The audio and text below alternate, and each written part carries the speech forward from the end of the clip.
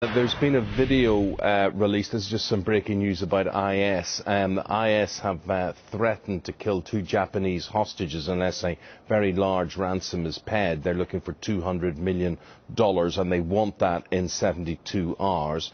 Um, the, the, the, video um, shows um, the Islamic State threatening to kill two Japanese hostages um, and they reckon that um, the man speaking uh, it says resembled and sounded like the British militant involved in other beheadings, the guy who's come to be known as Jihadi John.